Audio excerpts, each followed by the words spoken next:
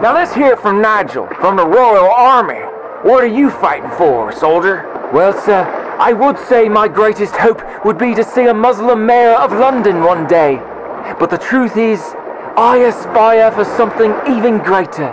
That someday no Muslim sex criminal will be punished in our kingdom again.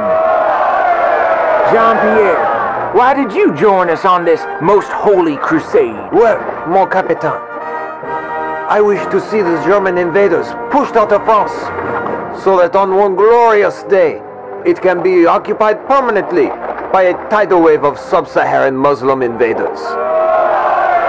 We should all be so lucky as to be replaced by a tidal wave of sub-Saharan Muslim invaders. How about you, Captain? Why do you fight?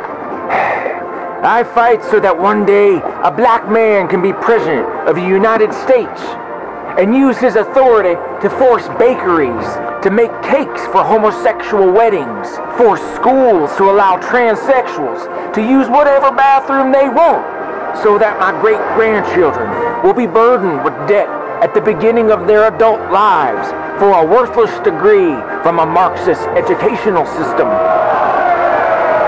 Well, that's beautiful, Captain.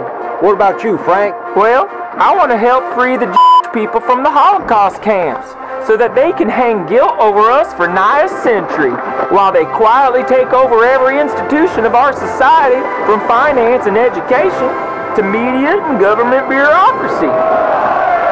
They are truly God's chosen people, and we should submit before their superiority.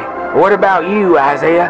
Aren't you from the tribe? Well, I'm just here to support our communist allies so that they can rape Eastern Europe for a couple of generations and murder tens of millions of people in China. Well, communism is the way of the future, boys. Remember, folks, the Nazis are the bad guys, and we're the heroes.